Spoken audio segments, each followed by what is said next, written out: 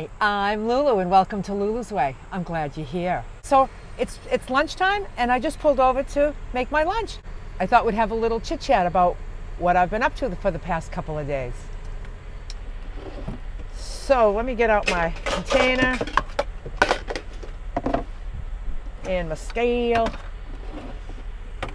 This morning in Cracker Barrel parking lot, I cooked a bunch of chicken with that yummy, yummy new spice that I love. So that's all set. That was kind of cooling off a little bit. Okay. So I decided I'm today I'm going to have like a chopped salad, which is um, not leafy and fluffy, but more kind of chopped up stuff. So here I go.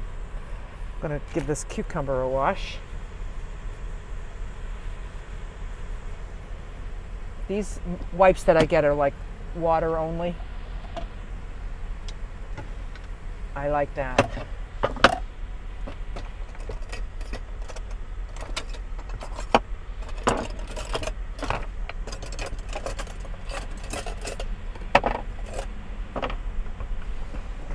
So I finished off Pennsylvania and I made it into Virginia. It was a, a lovely drive, um, Route 81. Uh, it's all through the mountains. I went through the Shenandoah Valley. Um, picturesque, very picturesque um, scenery. Very, very nice. Um, I have to say, like, you know, some have said that it's just like incredible, like it's, an, it's, it's amazing, the, the, the views down 81. And um, uh, although I will agree that it's very picturesque and very pretty, um, nothing really blew my mind, probably because I'm from New England and we have mountains. We have mountains everywhere. so um, it's not like the mountains were like, wow. Um, so far in my so far in my seven years of van life travel, twice my mind was blown. One time that was near Brookfield, Missouri, and another time was in Jerome, Arizona. Those two places blew my mind. I have videos on uh, just telling the story of my experience. I don't, I didn't get them on film. I'm just not a travel vlogger. I'm just not a travel vlogger. Uh, you kind of won't see the stuff I see because I just don't do that. You know, it's just not my thing. Um, although Purple Renee, that's her thing. She loves to. Um, she's more of like a travel vlogger, and she visits really interesting places and and films it and um, and she'll show you scenery and all that. So go check out her channel. My friend Purple Renee. She's at French Blonde Travels. That's the name of her channel. So go check her out. She's taken this drive from New York to Texas, just like I'm taking this drive from Massachusetts to Texas. So if you want to see like everything that I've seen, probably be on her channel. Maybe. I don't know. I don't know what she's been filming. But I look forward to seeing her soon.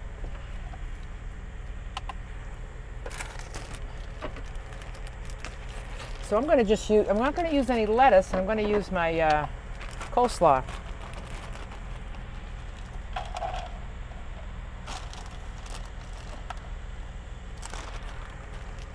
So, guess what happened while I was in Virginia? My friend Laura caught up with me, and here we were coming through. She left a few days after me, but I've been just taking it really slow. So she kind of caught up with me. So she pulled in right where I was, and I was like, hey, it's good to see you. Oh my God. It was just, oh, it was just, it was just so great to see her.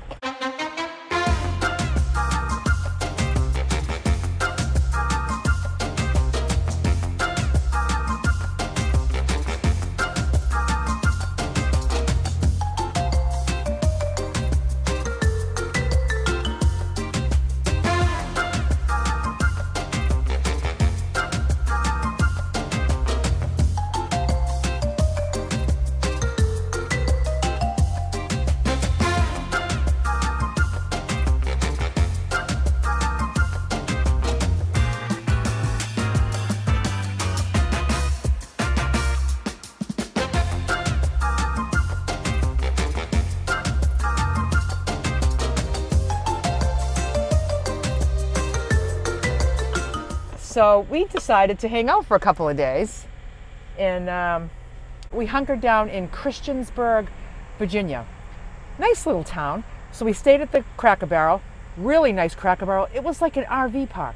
I mean, there were huge RVs everywhere, and there were people out in their chairs, and it was like it was like an RV park. It was amazing.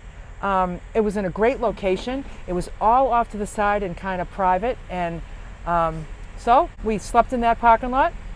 And the next day we found a nearby city park. We found Mid County Park in Christiansburg, Virginia, and uh, beautiful park. We, we practically had the whole thing to ourselves. We just hung out at the park in our chairs and we just yacked and it was just it was so nice to be together because I've been you know I've been on this trip alone for a while and um, and you you know I don't mind that at all but it was a nice change of pace so um, so uh, another thing happened in Virginia when I entered Virginia you ready for this I remembered that I had cruise control I forgot that I the whole trip, I forgot that I had cruise control installed.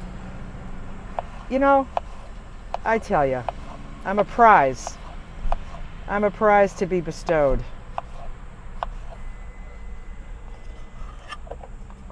Okay, let's see. We got some cabbage and we got some cukes and we got some carrots and we got some onion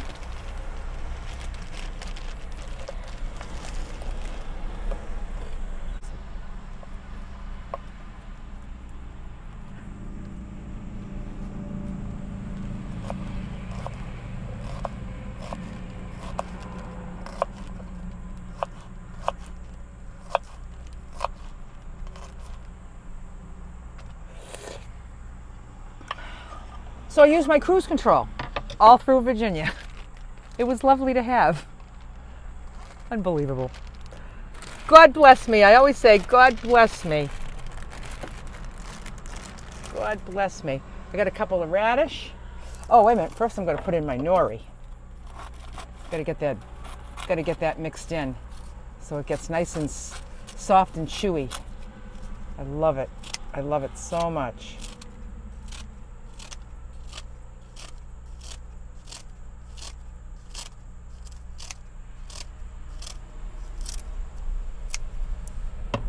So, while I was at that Mid County Park in Christianson, Virginia, uh, I had my I had a session with Sasha, my trainer.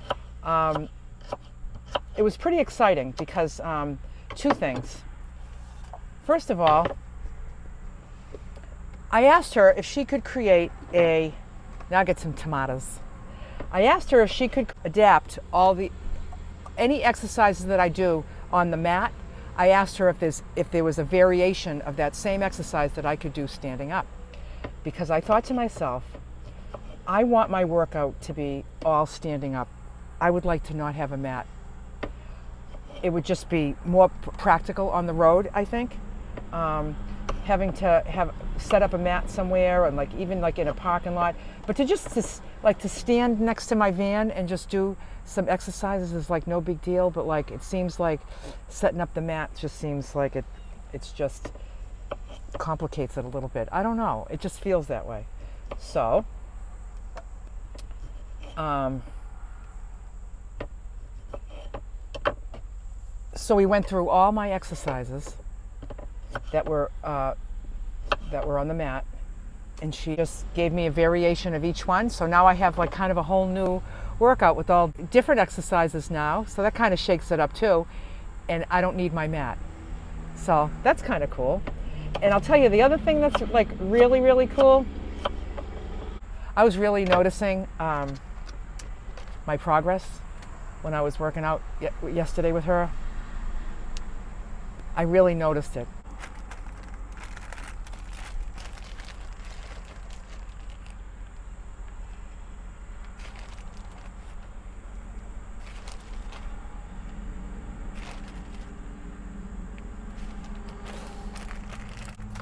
really noticed my progress.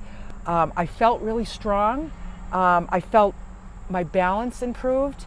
I feel, and, and she noticed a couple of things. I wasn't sharing with her that I was feeling like the progress, but she mentioned twice during my workout, she was just like, I'm noticing this about, you know, when I was doing a certain exercise, I'm noticing this about you. And uh, I was like, yeah, I kind of noticed it too.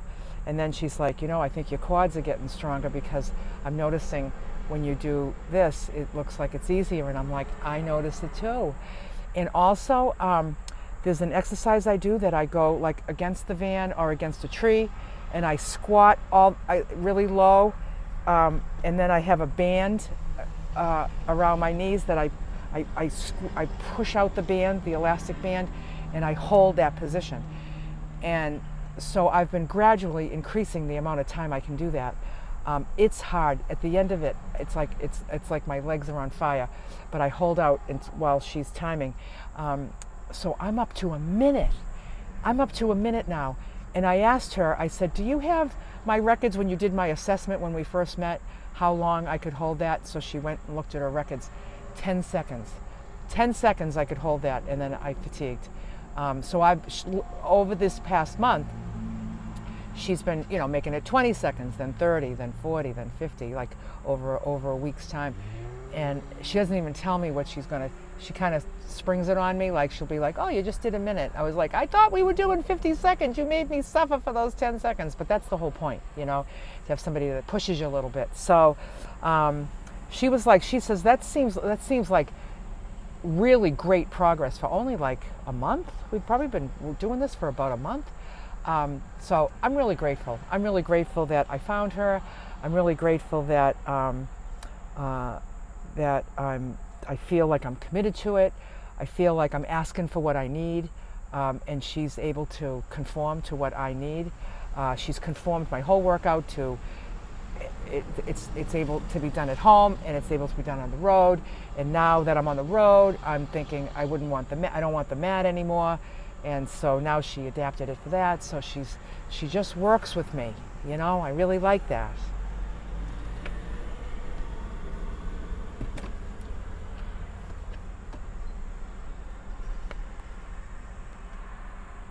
White pepper. Pink salt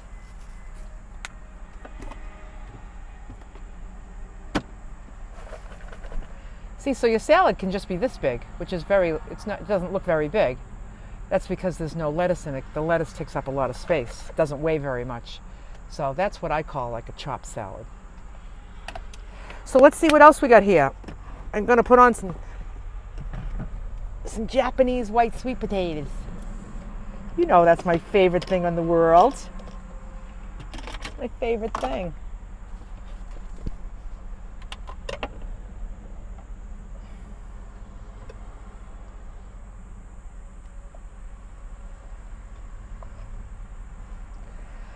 So um, after my workout, right in Christiansburg, Virginia, was a Planet Fitness.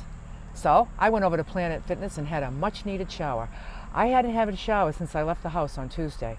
Now I know from Tuesday to Sunday is a long time to go without a shower, and you're probably like, ew, but that's okay. I didn't stink. After five days, I really wanted a shower. I wanted that fresh, sudsy, hot water feeling, you know. So it was a great shower. Um, really good water pressure. It was clean, and I just oh, the just the suds everywhere and the hot soapy water, just wonderful. Loved it.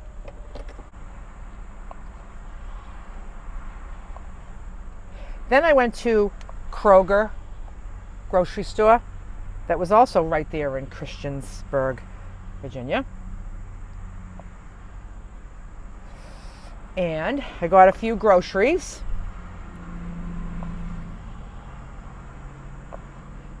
Laura stayed at the park while I was doing all this stuff. Then we decided that we were going to meet back at that Cracker Barrel in Christiansburg, Virginia.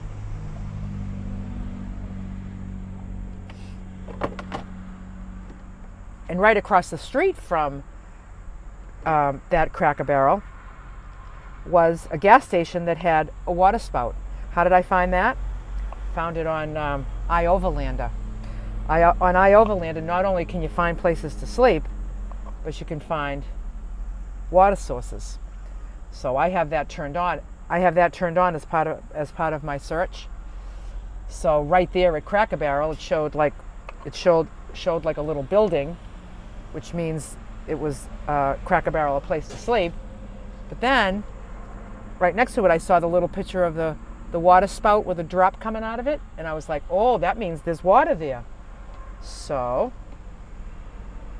it said Shell gas station. I opened it up, and the comments on it said, uh, look to the side of the building and where the air is, the air for the tires, uh, and that's where the water is. I pulled right in. I see this big sign on the side of the building water and air. There's the air, there's the water spout. Um, all my water goes through the Berkey, so I don't have to worry too much about the quality of that water because it goes through my Berkey. I'm confident that my Berkey takes care of everything.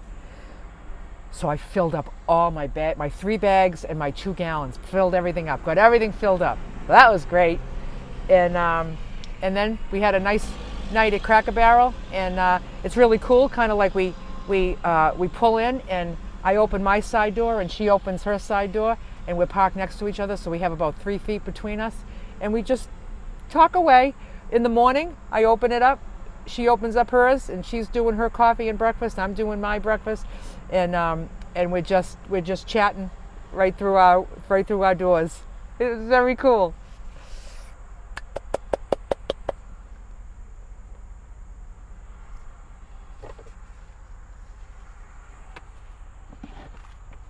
Okay, so now we got the chicken. I got one little tiny piece of chicken left over from the last batch. Then I got all this new chicken. So let me just put in what I need here. Got this nice, this nice seasoning that I love so much.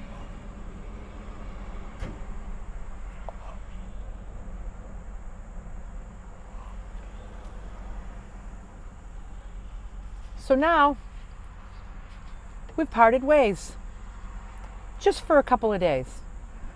Um, she's going to visit a friend in Knoxville, Tennessee. Um, we both have to go through Knoxville, Tennessee to get to our destination, which is um, the Texas beaches. And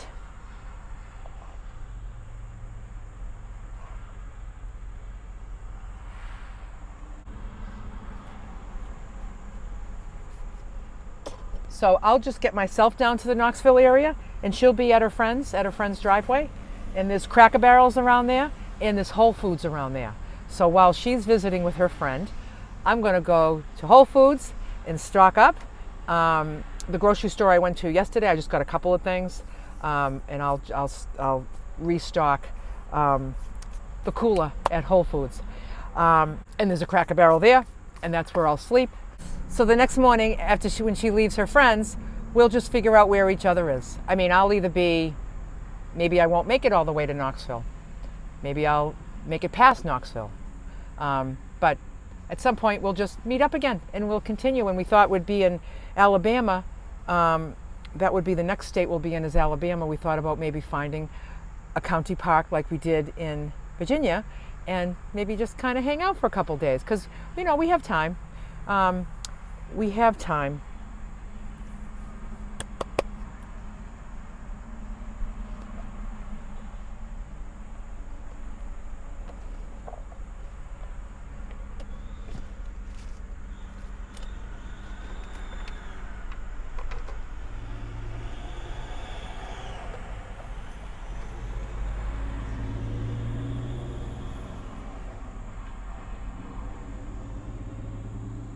The weather's been absolutely gorgeous.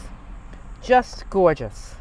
This morning um, in Cracker Barrel, we had a tiny bit of rain, but it just barely drizzled and it was, it's, it was over with. So um, really, it hasn't been much rain at all. Really, no rain since I left the house. It's just been sunny and beautiful and I'm so grateful. So grateful.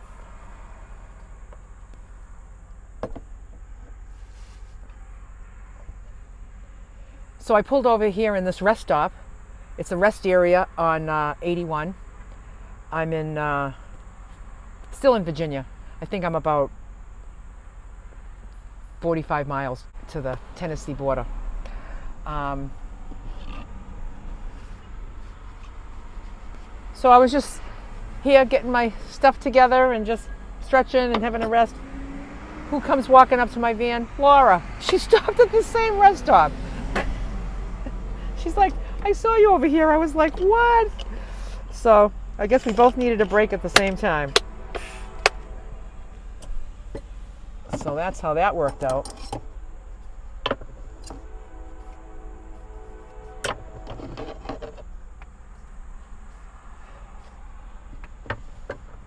So I think I'm going to, what time is it? Oh. So it's, it's almost noon, which is when I have lunch.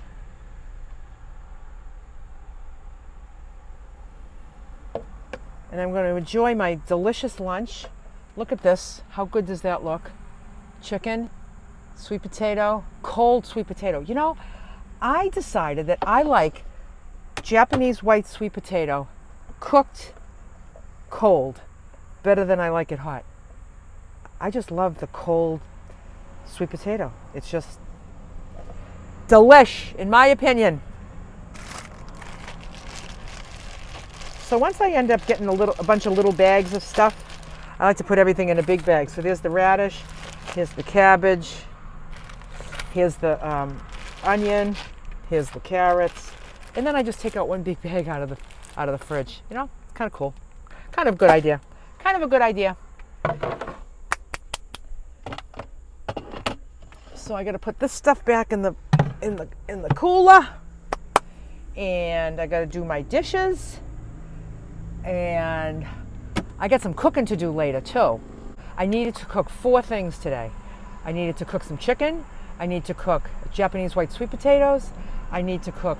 Uh, I got two bags of baby carrots that I want to cook, and I want to cook uh, some of those grains. Remember those grains that I took, the mixed grains in the little zip bags. So I'm cooking those four things today. So this morning, while the pan was dirty from the eggs that I cooked, while it, while it was dirty and while the stove was out, I did all my chicken. All the other three things will be done in the Instant Pot. So it will be, you know, it's sometime in the afternoon when I need a break from driving, and I'll just pull over and, you know, I'm just I'm generating some electricity right now because I got a little low, because I haven't been traveling.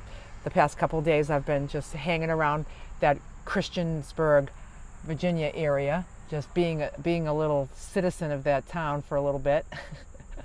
and um, so if I'm going to do pressure cooking, uh, like three batches, that's going to be that's probably going to take maybe a little bit more than 30% of my st- battery storage. So I need to really beef it up. So I'm going to do some driving and get that all beefed up so I can drain it again with all my uh, Instant Pot cooking. You have a great day and bye for now.